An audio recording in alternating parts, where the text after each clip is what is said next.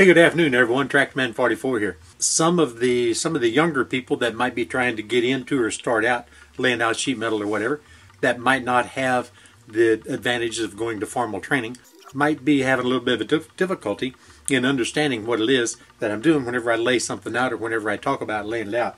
So I've kind of come up with a, a little more simplified version of what I'm looking at as I'm thinking about all these dimensions and things I'm rambling about so rapidly, you know, wherever I'm laying something out. So take a look at this real quick. We're going to do just a quick and simple flange, seven and a half inch tall plenum, nothing fancy. It's going to be ten and a half inches wide by uh, 16 inches long uh, and seven and a half inches deep. Here you can see easily what I've got drawn out here. Seven and a half inch high. It's going to have a half inch double hem flange all around the perimeter. It's going to have a drive on the six or the ten and a half inch dimension, and the 16 inch is going to have the S's. You can see the dimensions are 16 by 10 and a half by seven and a half. So if you just look at this as though it's just one half of a section of duct for you guys that are that are just beginning out, and just open it up like a book. That's that's what you're doing whenever you're laying out a, piece of ductwork on a sheet of metal. You're actually looking on the inside of that duct and laying essentially half of it up open like a book. So let's just draw down here the small section, the wider section, and then add the dimensions you know you're going to have to have for two half inch marks down here for a double hem flange, a one inch on one end for a Pittsburgh, typically on the smaller dimension of the two pieces, uh, the two different dimensions, and then a quarter inch on the opposing end. So now we have to do is fill in the dimensions. Here's this here's going to be 10 and 1 half inches here. This is going to be 16 inches here. This is going to be 1 quarter inches over here. This is going to be 1 over here. So it's 1 plus 10 and a half plus 16 plus a quarter. So 10 and a half 16 is 26 and a half plus a quarter is 26 and 3 quarter plus 1 is 27 and 3 quarters. That's how rapidly you can figure the cut size on a half duct.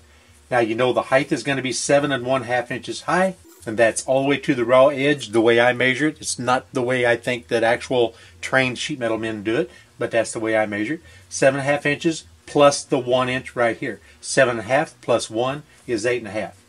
So your cut size is immediately figured to be 27 and three quarter by eight and a half. Take that times two. So if you're making yourself a note, you go two, 27 and a half by eight and a half, cut them out, and you're ready to trim and make your two pieces of duct half. So what we're going to do is we're going to go by laying out our height, which is eight and one half inches. So we're just going to mark eight and a half here. Now let's just go 17 because we're going to do two at the same time. Eight and a half and eight and a half is 17. Let's go with eight and a half. 17 from the outside edge. Grab your straight edge. Now we know we're 10 and a half inches, so let's start off down here. We're 10 and a half inches plus the 1 is going to be 11 and a half inches. So we'll come in here at 11 and a half inches. Mark it out here on this one at 11 and a half inches. Then we're going to be 16 and a quarter beyond that. So 11 and a half, 16 and a quarter. 11 and a half plus 16 and a quarter. And now we magically have the two half pieces of this duct already laid out.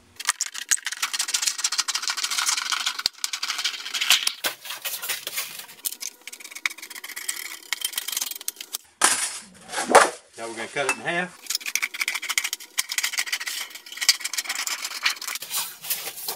There's our two halves. Take our handy dandy scribe.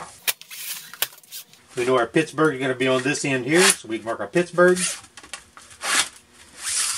We can mark our half inch double hem, which is going to be a one inch mark and a half inch mark. Do the same thing on this one. Half inch, one inch. Now we know we have our quarters. Then up on the top we have the one inch for the S and drive. A lot of times I'll take a little one like this and I'll just rip it right off the edge of the workbench just, just like this. You set it right on there like that just rip it right off the workbench. Does a real good job, a real fast job. So here we are. We've got our layout, so now we're going to snip this out.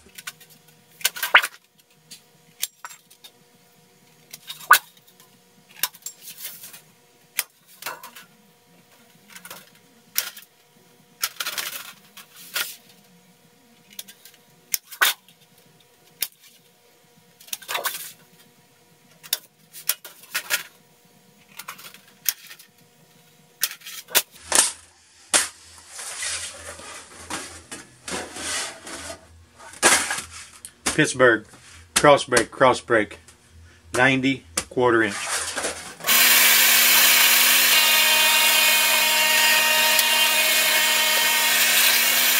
Now remember on a flanged plenum, you always do your double hem flanges first.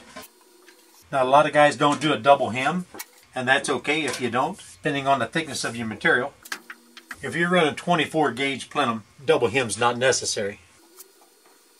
If you're running 28 inch material, you better you better double hem them. Now this is where your Pittsburgh gets smashed.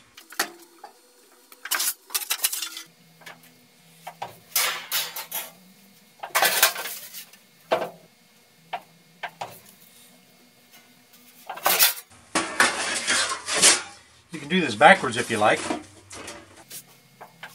You can fold it this way first. You can actually do it this way backwards too.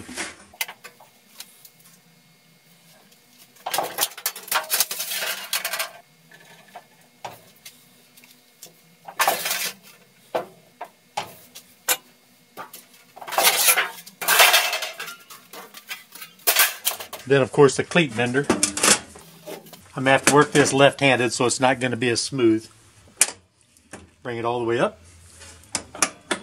Raise it up, drop this out, latch it back down. Just like that.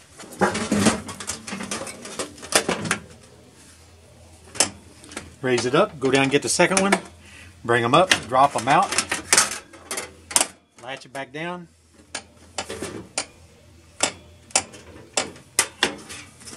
There's a second one. So here it is, just that quick. 10 by 16, 7.5 inches tall. Double flange, double hem flanged thing for setting on top of an electric air handler. This will go on into that uh, equal full way transition, go into the backdraft damper assembly, and that in turn will go into the next fitting I'm going to assemble, which is going to be a trunk line T.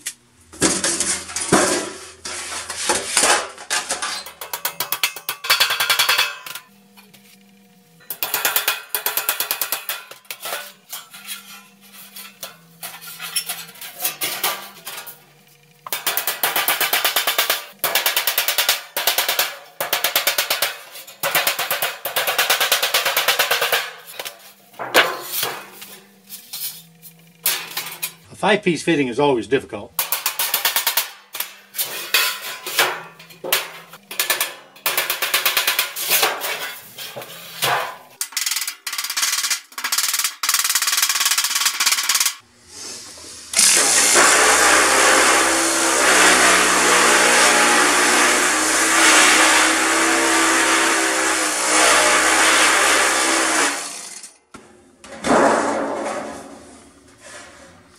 As a plenum T, the plenum discharges into this, dual trunk lines go that direction. So there'll be transitions off of one side and then this side will carry on this dimension for a duct section or two.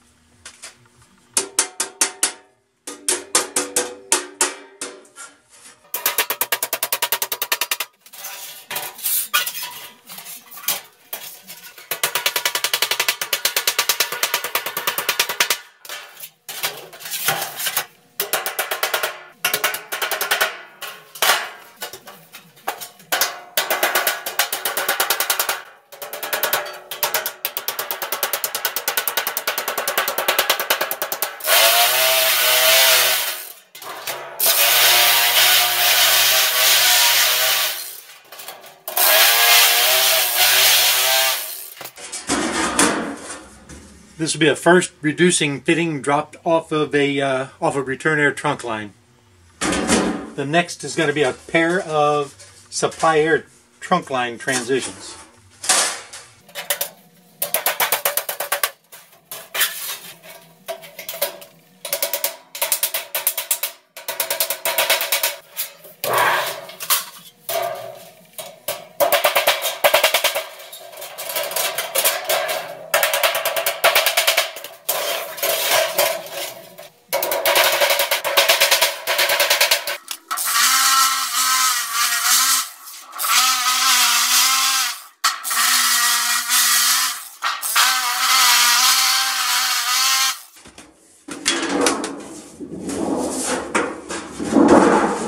Supply air trunk line transition going from uh, 8 by 20 to 8 by 16. There'll be two of these. Next comes two short sections of return air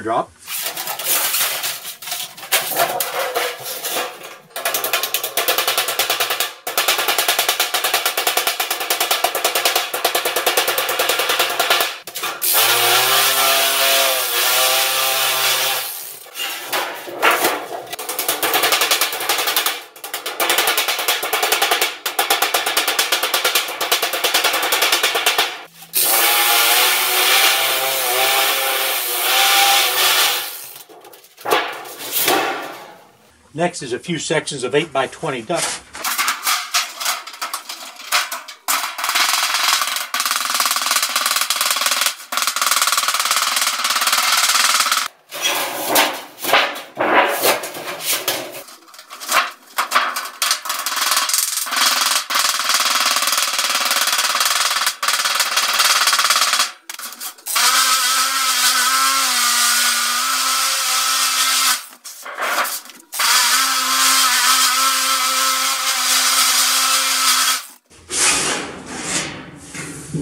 And up next is six more sections of another size duct.